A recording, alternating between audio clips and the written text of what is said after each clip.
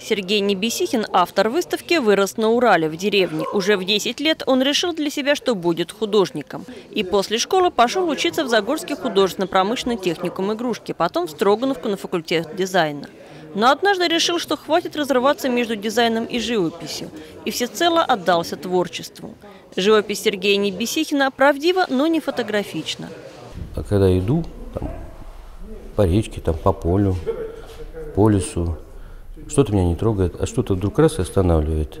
И вот это вот необъяснимое мое личное. Потому что ведь э, не каждый становится художник на этом месте, а именно вот э, то, что его тронуло.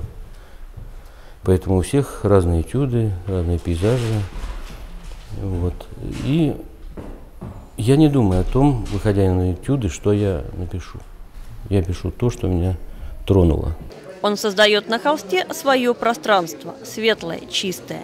Достаточно часто изображает уголки русской деревни.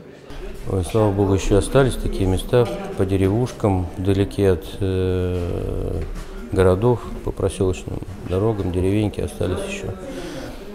Ну, уже все полуразрушено, поэтому подчас приходится по памяти восстанавливать, потому что я деревенский житель. Я знаю, как выглядит дом, даже разрушенный, я могу его там в голове восстановить. Вот я уже не раз говорил, что художник это не фотограф, это созидатель, создатель образа. И здесь же на открытии Сергею Небесихину вручили медаль Союза художников России за духовность и мастерство.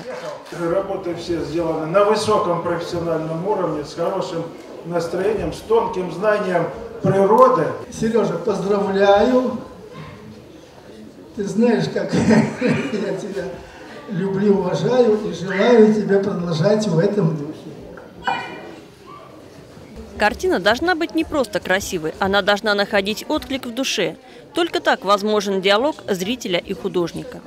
Он настолько русский, настолько э, такой чистый, искренний художник – что э, я думаю, что просто можно ему позавидовать. Необыкновенная искренняя работа. Для художника очень важна искренность. Э, чтобы зритель, когда приходит в зал, он смотрел на его работу и э, видел там что-то свое, что-то потаенное, что-то теплое, доброе, светлое и чистое. Э, я поздравляю Сергея с замечательной выставкой. Э, я его знаю очень давно, и мне очень радостно сознавать, что человек просто очень сильно растет в творческом плане, в человеческом плане. Я желаю ему дальнейших творческих успехов. Персональная выставка Сергея Небесихина продлится месяц. Приходите и окунитесь в мир прекрасного. Наталья Зайцева, Адзим Магомедов, День города.